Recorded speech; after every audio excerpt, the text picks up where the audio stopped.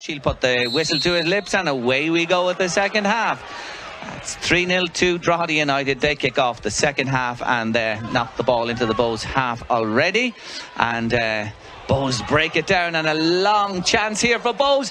And the keeper, it's in, it's one, it's one for Bohs. Bohs are back in the game already.